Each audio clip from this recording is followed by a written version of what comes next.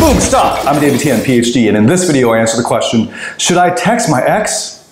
Welcome to Man Up episode 151. Masculinity for the intelligent man. I'm David Tian, PhD, and this is Man Up! Hey, this is David Tian, PhD, and welcome to Man Up episode 151. Um, for over the past 10 years, I've been helping hundreds of thousands of people in over 87 countries attain success, happiness, and fulfillment in life and love. And a uh, question here from the private Facebook group um, comes from Henry. And uh, it is another breakup question. So uh, I'll just read out the question. The love of my life broke up with me. We were five years together. I'm 30 now, she is 25. Without any warning, she told me on Monday that she wants to break up with me. I begged her to stay. I said I only need one chance. I can show her that I'm the right guy but nothing. She says she needs time for herself. After five fucking years, she gives me no chance. She just left our flat and was gone. She said she feels dead inside and that I cannot do anything about it. She said she has to figure out what she wants in her life for herself without me. Okay, so um, that's the background. He's got five pointed questions related to this based on um, the background. And the first question, here we go, Henry.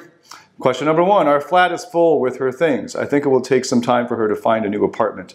So no contact is impossible. Now I stay at my mom's house, but that is no option for long. How can I handle that? Okay, so I'm going to answer these questions one at a time. Oh, by the way, um, I am preparing uh, how to uh, recover from a breakup uh, free course inside the Man Up group. So you got to join the private Facebook group, then you tap the pin post and you can get all the free video courses there. And that allows me to go into much more detail than I can in uh, a simple Man Up episode. So get into the free video courses. Now, just so everybody knows, the free video courses are, I try, I try to make them short and pithy as well. So they're going to be, I'm trying to, I originally tried to make them like 20 minutes, um, and then they became 30 minutes, 40 minutes, 15 minutes, and now they're over an hour, some of them. So I don't want to get even longer than that because what happens is, you know, I've been coaching for over 10 years, so I know exactly what happens.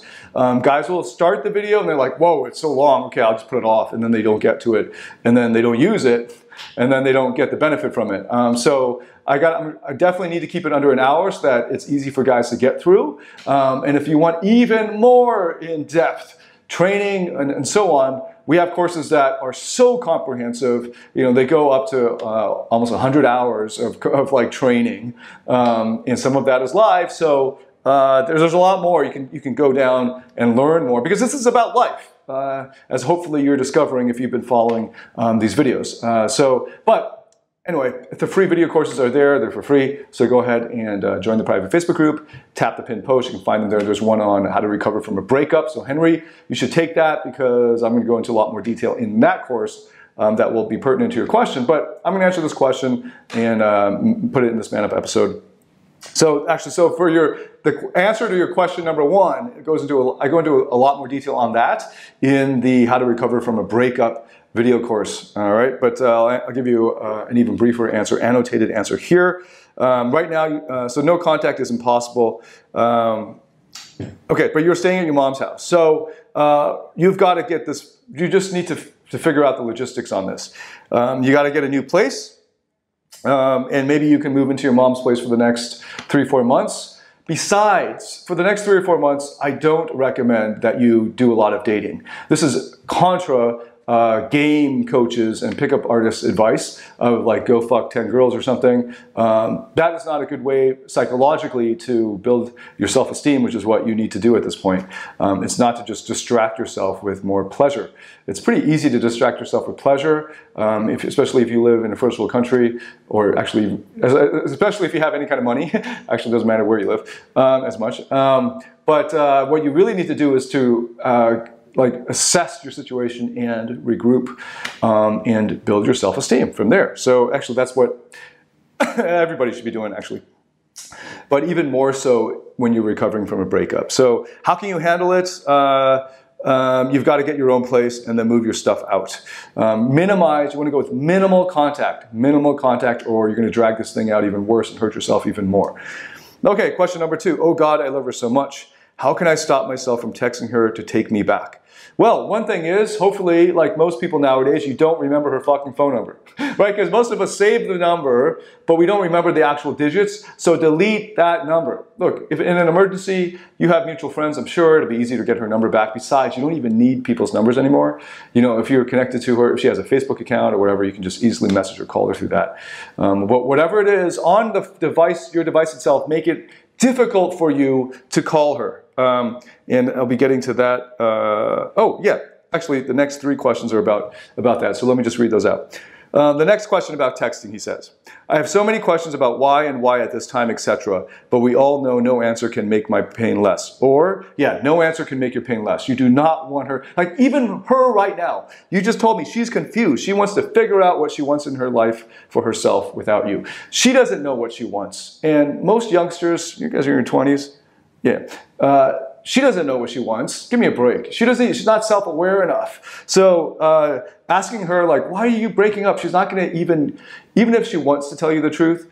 Uh, and let's just assume that that's the case, though it's not the case for many people. She's probably not going to tell it. Like most women, they're not going to tell you the truth, which is like uh, you're not hot anymore, or whatever, or, I'm bored with you, or um, you know, she's wondering uh, where's the passion um, in our relationship now. You've been together for five years, so you're out of the honeymoon stage, so you're fucked, right? Go watch my previous videos on the companionate curve. Uh, I just made that up, uh, the, the, the, term I mean, but basically the, the difference between passionate attraction, which is like boom, and then it goes like deadline, um, versus companionate attraction, which builds gradually. Most people do nev- never make it to companionate attraction. They're just passionate, passionate. And all these youngsters, you guys are in your 20s, 30s, uh, you guys don't know fucking know. And people in their 40s, they don't, fucking they don't know shit all about love. They don't they never took a course on it, they never educated themselves on it. They just know passion. Passion is a purely chemical thing. That's all. You can just induce it with a fucking chemical. Like it's basically like it's it's easy to create. It's just newness, novelty, and physical attraction. That's it. Um, so uh, they're gonna get that passion. Poof, right? It goes up, and then she's gonna wonder how come it's not so passionate anymore. So she's not gonna know. One of the things is uh, when you come in after at the five year mark, um, you're, you're probably she's probably going through a quarter life crisis as well. She doesn't know what's going on. Don't ask her. None of her answers will help you. Um, number four, should I delete Facebook? Oh, okay, so here's what we'll get to it. So first of all, on your device, how can you stop yourself from messaging her, not just texting her, but messaging her?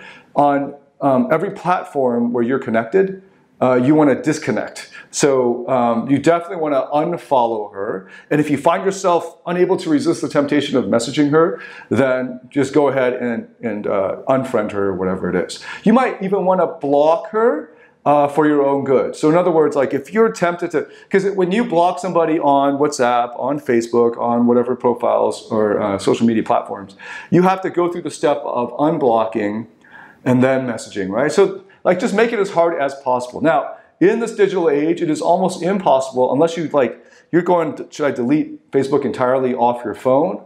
Um, I, I, think if like, if you really, if you find yourself blocking, unblock, if you unblock, if you block and unblock and message, then that's really bad. And if you find yourself doing that, then and, and you want to get over the, her quickly um, and move on with your life and recover quickly, uh, then yes, then yes, you should X, you should delete that app off your phone. You should make it very difficult for you, for you to, to give into that temptation late at night and uh, message her.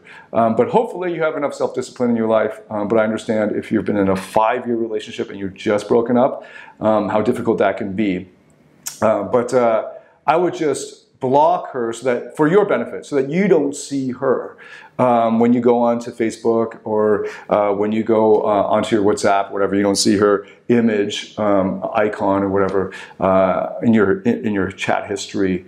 Um, that's for your own good, so you're not tempted to. You, you, you end up needing, needing to take extra steps in order to contact her. That's really important. And in fact one other thing, in, the old school way of doing it was to write down all of her info in an emergency and then hand that to a friend, and then to, so that just in an emergency, you know, somebody else is somebody else you can trust in, in that person's safekeeping, and then you delete everything off your own phone and out of your house. Um, that's where you want to get. But um, in the digital age, it's very difficult to disconnect entirely from another human being. But you can start with blocking on the various platforms that you find her on.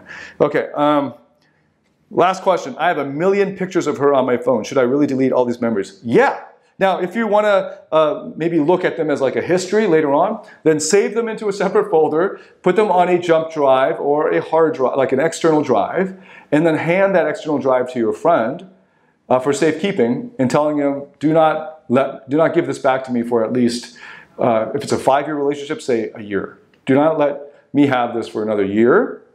Um, and, and basically, like the, long, the shorter the relationship, the shorter you need to have that time um, constraint. But um, for five years, one year sounds pretty reasonable. So you hand that to your best friend and say, protect me from myself. Do not let me see these photos for another year. That way you can have them because when you get older, you look back and it's, it's, it's just a marker of how you've grown. Hopefully you've grown through this um, and you will if you take the free video course that I've got um, and you have to make this into um, something that is actually going to propel you forward into growth.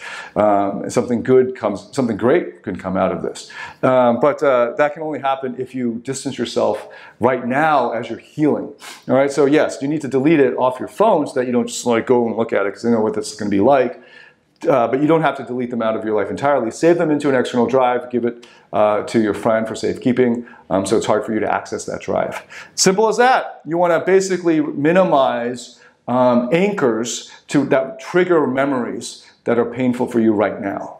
Um, so that's the that's the uh, review or the summary, um, and that's part of moving out of your uh, your current apartment and finding a, a new uh, living arrangement for yourself. Um, and that's a good overall theme. You want to break those anchors that are triggering painful memories at the moment, and uh, that will allow you to give into temptation. You want to uh, remove those obstacles in your life right now and uh, give yourself the time and space to heal.